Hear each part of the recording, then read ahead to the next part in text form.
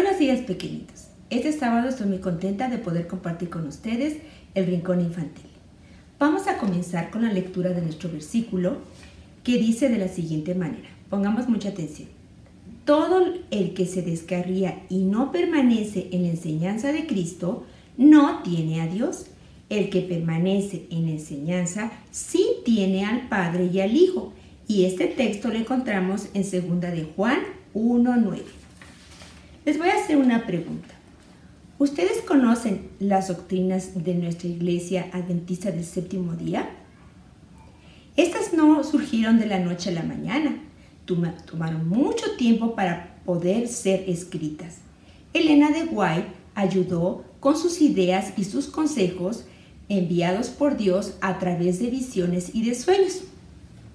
Y déjenme les voy a platicar que durante la primavera y el verano del año de 1884, Jaime y Elena asistieron a cinco conferencias el día sábado donde empezaron a establecerse las creencias de la iglesia adventista. Elena de White tuvo que intervenir y ayudar porque de pronto surgieron problemas entre algunos pastores y líderes de la iglesia. Ellos habían aprobado algunas cosas que no estaban de acuerdo a la voluntad de Dios y Elena les ayudó a ver sus errores.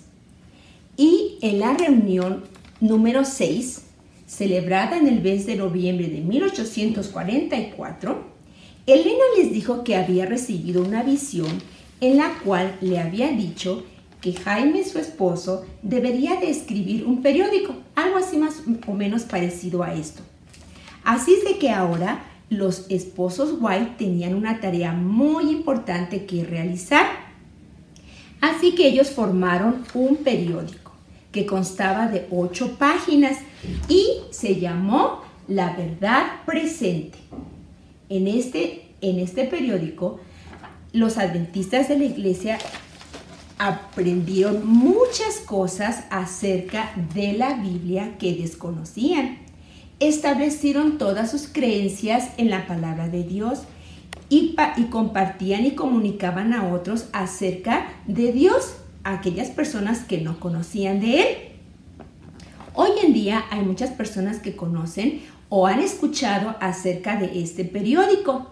Y déjenme decirles que en este periódico se escribieron cosas que todavía no eran muy claras ah, y que estaban en la Biblia como por ejemplo las profecías de Daniel y también los diez mandamientos.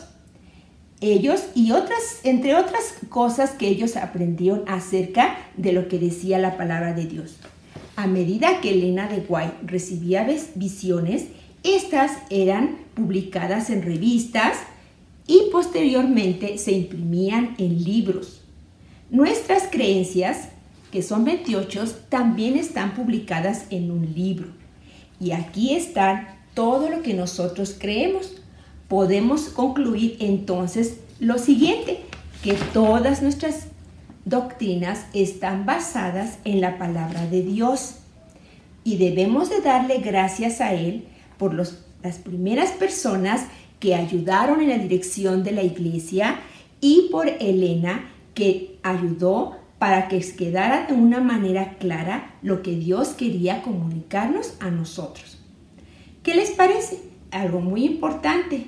Recuerden siempre, todas nuestras enseñanzas están basadas en este libro sagrado que es la palabra de Dios. Ahora les invito para que cerremos nuestros ojos y vamos a orar.